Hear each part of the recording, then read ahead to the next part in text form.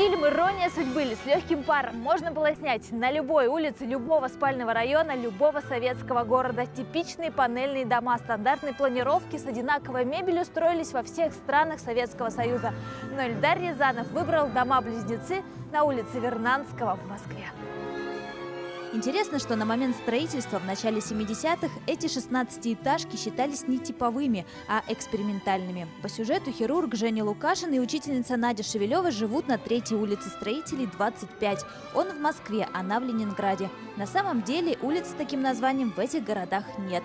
Надя живет в доме 113, его легко найти по табличке на фасаде. Правда, иногда ее крадут поклонники фильма. Здесь у продуктового магазина под вывеской «Овощи» мерзнут в новогоднюю ночь Женя и Ипполит.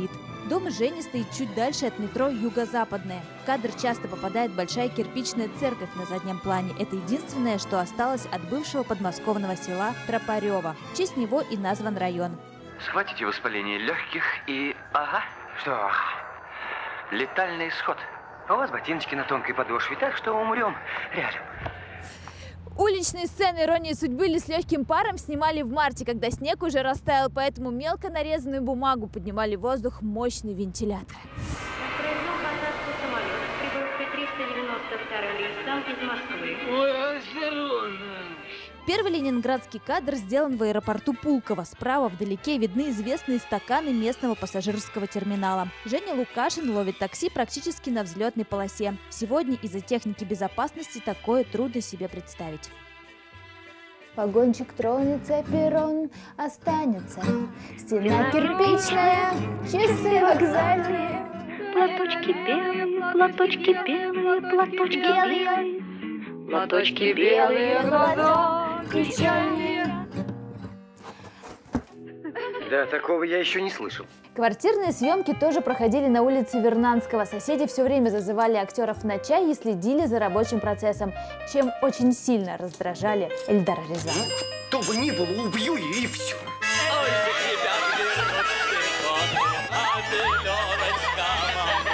Телефонной линии в домах тогда еще не было. Герои звонят друг другу по неработающим аппаратам. Интересно, что аппарат Нади несколько раз за фильм меняет цвет зеленого на красный. Недоработка реквизиторского цеха. Прошлого года ничего не ел. Ммм, вкусно. На столе у главных героев стандартный новогодний набор. Мандарины, советское шампанское и мускат. Девушка Женя готовит экзотический для того времени крабовый салат, а вот меню Нади такое же, как и у всех. Оливье, розбив и, конечно же...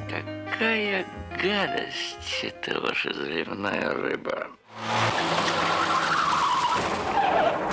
А вот еще одно ленинградское место – спуск к Неве на стрелке Васильевского острова. Именно здесь Ипполит дрифтует на своем автомобиле ВАЗ-2103.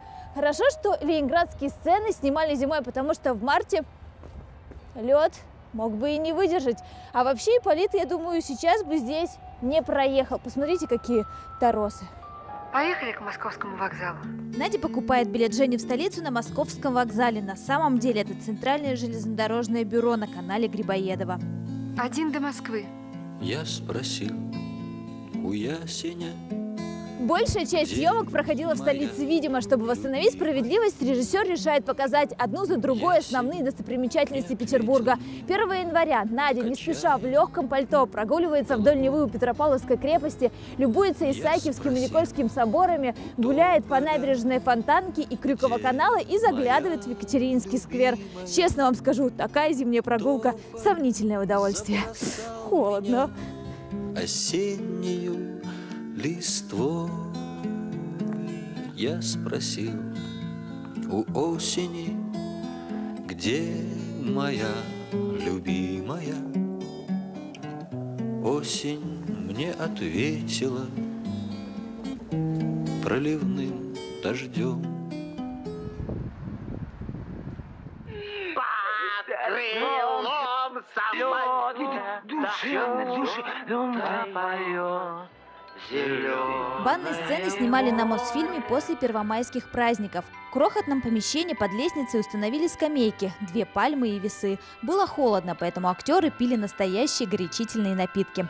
Ирония судьбы держится на новогодних экранах уже больше 40 лет, и каждый год на столах зрителей неизменно появляются советское шампанское, мандарины, оливье, заливная рыба. Эльдар Рязанов создал идеальный сценарий советского Нового года, которого, между прочим, придерживаются многие до сих пор. Вот и у меня с друзьями есть традиция каждое 31 декабря ходить в баню. Ну что ж, раз нужно, так нужно. Пошла в баню. С Новым годом, Надя. С Новым годом.